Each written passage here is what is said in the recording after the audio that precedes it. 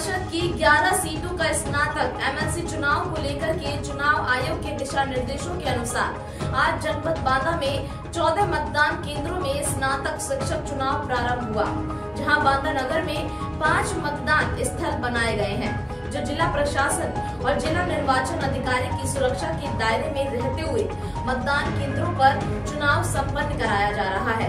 सुरक्षा व्यवस्था पर प्रत्येक मतदान स्थल पर पुलिस के कर्मी तैनात हैं। यह चुनाव सुबह आठ बजे से प्रारंभ होकर शाम पाँच बजे तक संपन्न हो जाएगा। चुनाव को लेकर के क्या क्या व्यवस्थाएँ की गई हैं पुलिस के द्वारा? देखिए जितने भी हमारे मतदान केंद्र हैं जो मानक निर्धारित किया गया है उसके अनुरूप हमने फोर्स का डिप्लॉयमेंट कर रखा है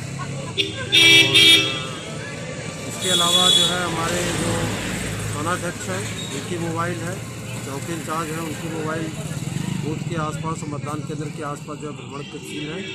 हमारे जो राजपत्रित अधिकारी हैं और एस डी साहबान हैं, वो सभी जो है लगातार भ्रमणशील हैं। और इसके अलावा जो है, जो हमारी एक क्वालिटी हमने बना रखी है क्वालिटी भी हमारी जो है मुस्तैद है। कहीं पर भी कोई दिक्कत नहीं है लगातार मेरे द्वारा भी सभी मतदान केंद्रों का भ्रमण किया जा रहा है। सभी जगह नॉर्मल है और सुचारू रूप से जो है ये चुनाव प्रक्रिया चल रही है।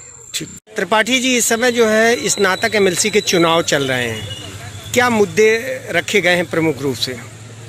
स्नातक एम का चुनाव जितने भी प्राय चुनाव होते हैं इन सबसे का राजनीतिक मंचों से कोई बहुत अधिक मतलब नहीं होता है। ये कर्मचारियों की और जो प्रशिक्षित हैं जो बेरोजगार हैं उनकी आवाज़ उठाने के लिए चुनाव निर्वाचन होते हैं। ऐसे प्रतिनिधि हम कोशिश कर रहे हैं कि जो हमारी पुरानी पेंशन है शिक्षकों की समस्याएँ हैं कैशलेस जो व्यवस्था की हम बात कर रहे हैं हम उन सब मुद्दों पर बात कर रहे हैं और जो हम लोगों के इस बात के लिए सहयोग करने का वादा किए हैं जिन्होंने किया है उनके लिए हम लोग वोट देंगे। सर जनपद बांदा से कितने कैंडिडेट पार्टिसिपेट कर रहे हैं? जानकारी जनपद बांदा से जहाँ तक मेरी जानकारी में लगभग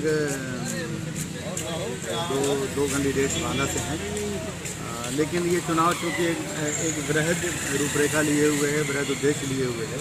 इसलिए जनपद बांदा या कहीं से भी जो प्रत्याशी है जो हमारी पूरे प्रदेश की शिक्षकों की समस्याओं को पूरे मंडल की समस्याओं को जो समाधान की तरफ़ बात करेगा उसकी तरफ़